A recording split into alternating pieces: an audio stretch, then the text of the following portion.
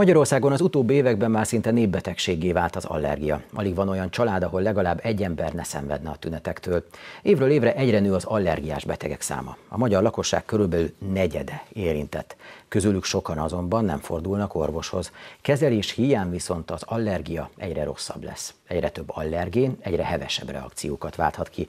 Ráadásul a kereszt allergia is gondot okozhat. A témával kapcsolatban vendégünk a stúdióban dr. Csajbók Valéria, allergológus, pulmonológus főorvos kezdett sokan. Jó estét! Elsőként beszéljünk arról, hogy miért van manapság egyre több allergiás. Azért nő az allergiás megbetegedések száma, mert ez a betegség öröklődik. Tehát ha a szülők allergiás megbetegedésben szenvednek, ha egyik szülő szenved, akkor 30%, ha mindkét szülő, akkor 60% esélye van az gyereknek, hogy allergiás megbetegedésben szenved. Tehát a betegség mint egy újra termelő önmagát. A másik tényező ugye az urbanizáció, az egyre több génkezelt élelmiszer megjelenése, az egyre több levegőszennyezettség, mind-mind-mind az allergiás megbetegedések kialakulásához vezet. Hogy lehet, hogy korábban korábban nem hallottunk róla? Korábban is létezett, csak éppen mondjuk a szélesebb körben nem vált ismerté? Nagyon-nagyon régen létezik ez a megbetegedés. Több római kori esetet ismerünk, amikor allergiás tüneteket írtak le mélycsipésről, eperevéskor például, azonban ekkora számban és ilyen mennyiségben valóban nem volt jelen. Korábban urbanizációs betegségnek is hívtuk, inkább a városi, nagyvárosi lakosság körében fordult elő. Miről is van szó? Ez az immunrendszernek egy túlreagálása, egy heves, tehát nem alul működik az immunrendszerünk, hanem túl, túl működik, hevesen reagál bizonyos allergénekre.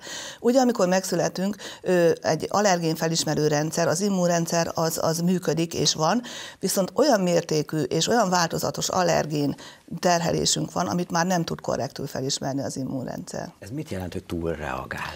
Ez egy túlzott reakció, mikor az allergén és az antitest kapcsolódik, egy ilyen immunregulációs zavar következik be, és túlheves reakciók jönnek létre, olyan anyagok szabadulnak föl, ami nem allergiás ember esetén nincsen.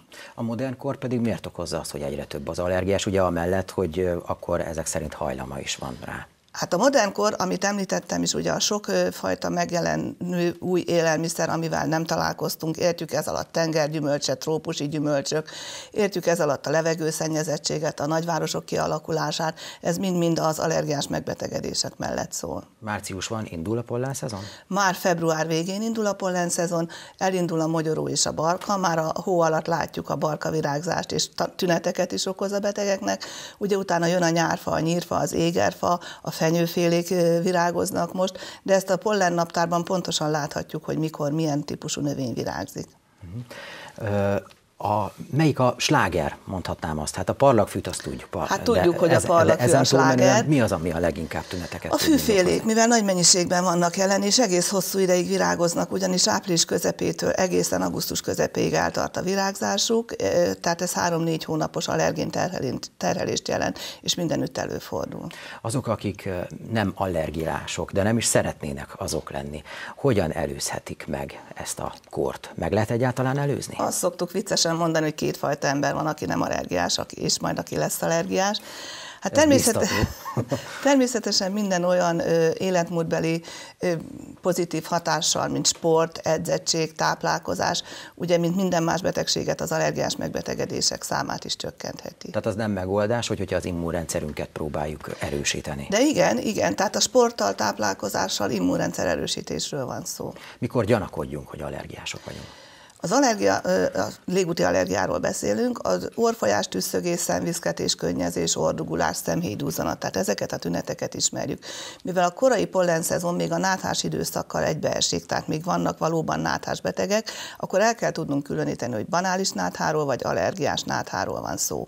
Abban az esetben kell gyanakodnunk, hogyha a környezetünkben mondjuk már nincsen ilyen sok tüsszögős orfolyós beteg, tehát a nátha szezon lezajlik, illetve ha minden évben ugyanabban az időszakban jelentkezik, érzik. Tehát sokszor a beteg elmondja, tessék elképzelni, hogy mindig húsvét előtt van náthám. Hát ez valószínű nem nátha, hanem allergia. Napszakhoz köthető? Napszakhoz nem, a tünetek változása köthető napszakhoz, akkor a reggeli és a esti órákban erősebbek a tünetek. Lehet, hogy ezzel kapcsolatban, hogy napközben elfoglaltabb az ember a munkáját tekintve, tehát reggel és este kifejezettebbek a tünetek. Mit tegyünk, hogy, hogyha mm, gyanakodunk, és hát szeretnénk akkor ennek a végére járni, hogy tényleg allergiások vagyunk. Ha felmerül bennünk, hogy allergiás betegségünk van, akkor először is ki kell vizsgáltatnunk, hogy pontosan mire vagyunk allergiásak. Ezt elég jól be tudják kalkulálni a betegek, hogy ők már gondolnak allergiára, esetleg amikor még a házi orvosuk nem, akkor be kell jelentkezni egy allergológiai szakrendelésre, ott megtörténik az allergia kimutatása. Ennek két fajtája van, vannak a provokációs tesztek, amikor magát az allergént mutatjuk ki, ezt az alkalhajlító oldalára hígított allergén sorral végezzük, illetve vannak a vérvizsgálatok, amikor az ellenanyagot mutatjuk ki a szervezetből. Talán árkülönbség van, illetve érzékenységbeli különbség is. Rutinszerűen elsősorban a bőrpróbát szoktuk csinálni, ha az nem célra vezető, vagy nem ad eredményt, akkor szoktuk a vérvizsgálatokat elvégezni. Részben azért már beszéltünk a megelőzésről, de mondjuk táplálkozás, mert hogy említette, hogy a modern korban egy kicsikét másfajta ételeket fogyasztunk most már, hogy ez által meg lehet előzni az allergia kialakulását. Hát, hogy teljesen a kialakulását meg lehet előzni, abban nem vagyok biztos. Abban, biztos, abban viszont biztos vagyok, hogy vannak bizonyos keresztreakciók, ami az allergiás betegek étkezését befolyásolja. Tehát ha valaki korán középvirágzó fákra allergiás, tehát éger, juhar, nyár, nyír, akkor úgy bizonyos gyümölcsfák ugyanabban az időszakban virágoznak, tehát körtealma fogyasztásakor jelentkeznek allergiás tünetek, illetve parlagfű esetén erős kereszteakciót ad a sárga görögdínye, ugye, ami a, aminek akkor van szezona, szezonja, illetve az uborka és a paradicsom fogyasztása. Ez abból adódik, hogy ezeknek a gyomnövényeknek, illetve a allergiát okozó növényeknek és a kultúrnövényeknek a génszerkezete megegyezik, és ugyanazt a hatást váltja ki a elfogyasztáskor. Mi a helyzet a tejtermékekkel? Rendszeresen szokták javasolni, hogy kevesebb tejterméket fogyasszunk, ha nem szeretnénk allergiát. A tejtermékek és az allergia kapcsolatában én, mint allergológus azt tudom mondani, hogy akkor van értelme az elhagyásának, ha kimutatottan tejfehérje, illetve tejcukor érzékenységünk van. Elsősorban a tej és a tejtermékek fogyasztása a gastrointestinális, tehát a gyomorbérrendszert érinti. Ugye allergia azokon a szervünkön, szervrendszerünkön alakul ki, ahol a külvilággal találkozunk. A légutak, az a pulmonológus, allergológus, a gyomorbérrendszer, ugye ezzel a gastroenterológusok foglalkoznak, és egy nagy allergiás felület a bőrünk, amivel a bőrgyógyászok foglalkoznak. Tehát akkor, ha már van egy érzékenységünk, akkor érdemes átgondolni azt, hogy most akkor választjuk-e azt a táplálékformát, vagy sem. Természetesen én úgy gondolom, hogy minden ember érzi, hogy melyik tápláléktól van neki kellemetlen panasz, a tüsztögése, puffadása, hasmenése, dermatitisze, vagy bőrelváltozása a bőrén.